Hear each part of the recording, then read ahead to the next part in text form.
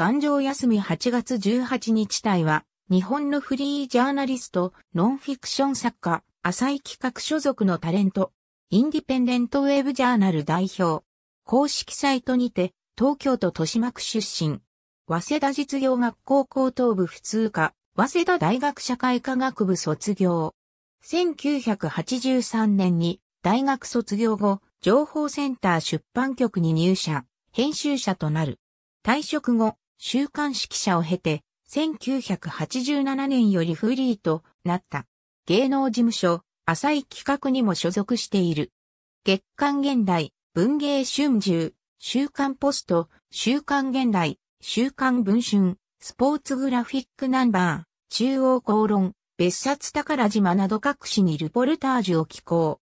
1989年から1994年まで6年間かけて旧ソ連、東欧圏を取材し、1996年にソビエト連邦の崩壊とロシアの民主化の実相を描いたあらかじめ裏切られた革命を出版。同年、同書で第18回講談社ノンフィクション賞を受賞。テレビのドキュメンタリー番組のリポーターやコメンテーターも務める。2000年10月からフジテレビ系情報プレゼンター特ダネのレギュラーコメンテーター6月。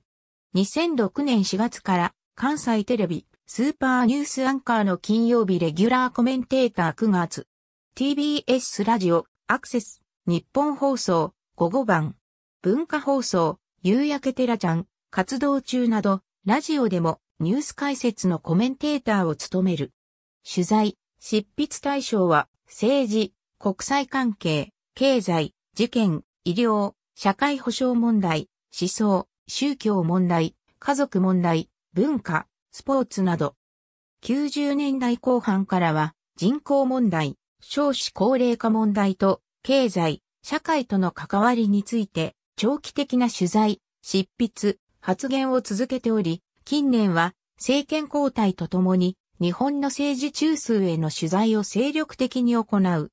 ユーストリームを活動拠点とする株式会社 e-watch を設立し、東京電力福島第一原子力発電所事故以降、市民中継員などのボランティアを登用した報道を展開している。支援者からのカンパを主な収益源としている。ありがとうございます。